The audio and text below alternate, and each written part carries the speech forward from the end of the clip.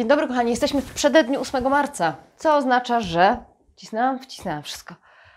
Że, za, że jutro wybije rok od publikacji pierwszego wideo na tym kanale. Dziękuję Wam bardzo, że dotrwaliście ze mną. Dziękuję sobie, że ja dotrwałam, bo były momenty kryzysu.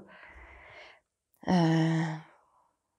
O kanale za chwilę będę Wam mówiła. Chcę Wam 8 marca, panowie, zwróćcie się do Was e, z propozycją na doskonały prezent dla swojej kobiety. Taki, o którym ona marzy po nocach. Taki, który jej się śni i który chyba najbardziej doceni. Mm, nie, nie są to nawet diamenty. Nie, nie są to te goździki. Wsadźcie sobie w tyłek swoją drogą te goździki. Darowanie kobiecie goździka, kwiatów z okazji Dnia Kobiet jest troszeczkę jak e, rozmowa edukacyjna e, z okazji Dnia Autyzmu. Wszyscy ci, którzy go nie mają, którzy nie wiedzą, jak ciężko e, borykać się z tym autyzmem, pochylają się tego jednego dnia nad faktem, nad faktem że w ogóle tacy ludzie wśród nas istnieją. E, zauważanie, że my kobiety, nasze problemy istnieją jeden dzień w roku jest obrzydliwe, ale nie o tym. Słuchajcie, marzenie, marzenie kobiet wszystkich na, ca na całym świecie. Uogólniam? Nie. Słuchajcie. My, wszystkie kobiety, albo inaczej, ja nie wiem, czy my o tym marzymy, ja nie wiem, czy my już sobie to powiedziałyśmy, ale ja, ja marzę o tym, żeby w przyszłym roku nie czytać, że, uwaga, tutaj się wspomagam statystykami, 12,5 miliarda godzin dziennie na całym świecie zajmuje nieodpłatna opiekuńcza praca kobiet. Kolejne 10,8 biliona dolarów rocznie kosztuje ta praca. W sensie jest to zysk dla ludzkości, który, jest to zysk większy niż zysk całej branży technologicznej. Właśnie przysparza nieodpłatna praca kobiet. Następne. Wiecie, że w Padwie, jakiś czas temu w Padwie przeprowadzono badania i zbadano szczęście, nieszczęście kobiet. E, okazuje się, że stres i przemęczenie w życiu kobiet najczęściej wiąże się z małżeństwem. 75% ankietowanych powiedziało, że to na ich głowie jest cała praca opiekuńcza, cała praca wychowawcza, cała praca pielęgnacyjna związana z domem, dziećmi, mężem itd. Tak itd. Tak I krzyk dzieci, niedospanie nocy, generujące frustracje, to wszystko jest i tak pikuś w porównaniu ze stresem, który wiąże się z utrzymaniem małżeństwa w tej scenerii. I ja się kompletnie nie dziwię. Słuchajcie, dla mnie to jest takie, takie oczywiste.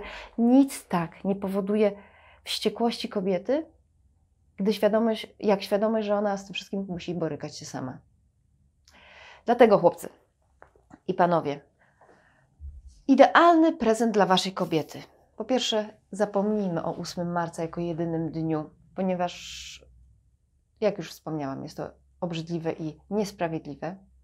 Powiedzcie swoim kobietom jutro, że wobec tego święta macie dla nich prezent, że składacie deklarację w tym roku będę kochanie. I teraz do wyboru. Wybierzcie sobie cokolwiek z tej niesprawiedliwej, uwłaczającej, znaczy uwłaczającej. Świat nie docenia pracy opiekuńczej pracy kobiet, tak?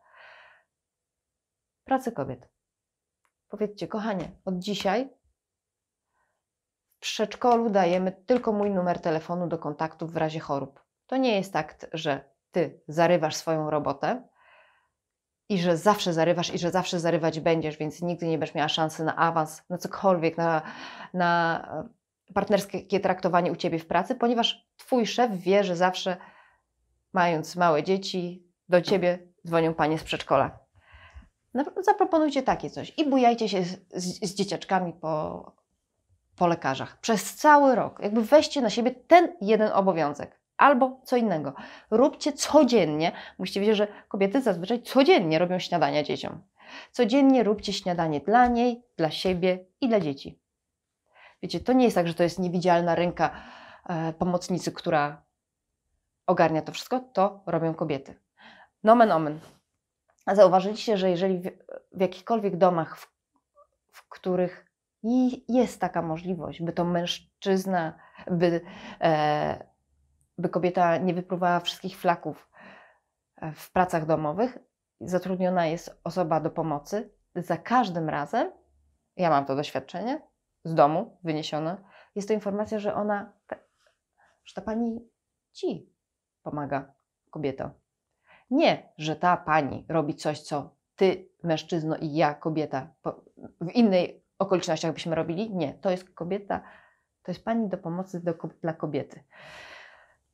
Eee, smutnym dowcipem w tej narracji są prezentowane patelnie, by kobieta mogła lepiej i więcej i efektywniej pracować w domu.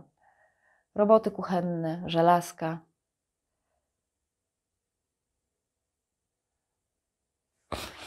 Mam gluta.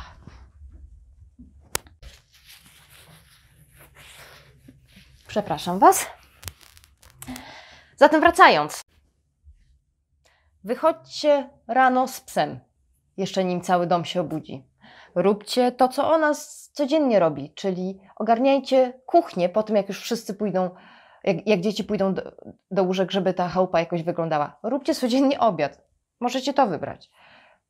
Cokolwiek, co jest codziennym, ciężkim, bez narzekania udziałem kobiety, weźcie to na swoje barki. I najważniejsze, ja powiedziałam prezent. Zapomnijcie, że ma to rangę prezentu. Nie czujcie się wyjątkowi z tego tytułu, że to robicie. Pamiętajcie, robicie to nie dla niej, robicie to dla Was. Dlatego byśmy wszyscy żyli w lepszym świecie. W świecie, w którym będzie równość i w którym na przykład Waszych córek nikt nigdy nie potraktuje jako zaparzacza do herbaty. Trzeba zacząć od traktowania ich matek godnościowo. Mój kanał skończył rok. Nic nie zapowiada, by miał on się skończyć. Teraz, gdy wiem, że 40% moich użytkowników to są mężczyźni, zamierzam też prezentować więcej treści adresowanych do nich.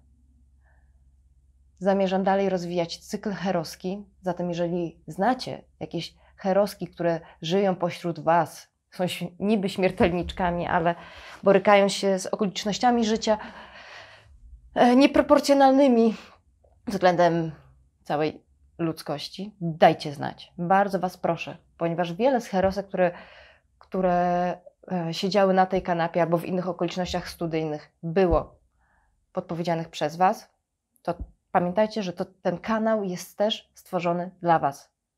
Od jakiegoś czasu wprowadziłam zasadę taką, że możecie zadawać pytania moim gościom. Wcześniej przesyłacie mi je poprzez moje, mój profil na Instagramie. Zamierzam nadal to pielęgnować. E, co możecie zrobić? Subskrybujcie kanał, jeżeli go jeszcze nie subskrybowaliście. To na pewno mnie ucieszy. Będzie takim malutkim prezentem z, okazji rocznicy. Ściskam Was, papa. Pa.